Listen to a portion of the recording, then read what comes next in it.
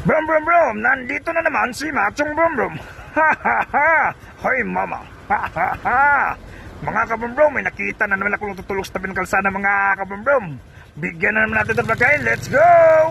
Punta tayo sa Jollibee mga kabrum brum para bumili ng pagkain para ibigay doon sa natutulog sa tabi ng kalsada.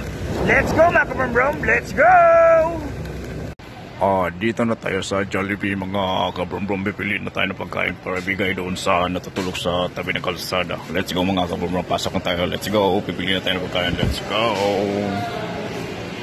Ah, ito na mga kabrombrom, nakabili na tayo ng pagkain sa Jollibee. Ibigay na natin to sa dalawang mag-asawa na natutulog sa tabi ng kalsada. Let's go! Let's go mga kabrombrom, yatin na natin ito pagkain doon sa natutulog sa tabi ng kalsada. Tutulong na naman tayo ngayong gabi mga kabrombrom doon sa natutulog sa tabi ng kalsada.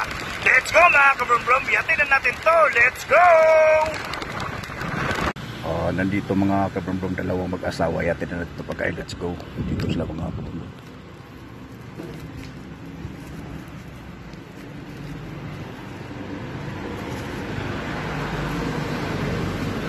Let's go mga kabrombrom. Nabigay na natin pagkain sa kanila. Let's go.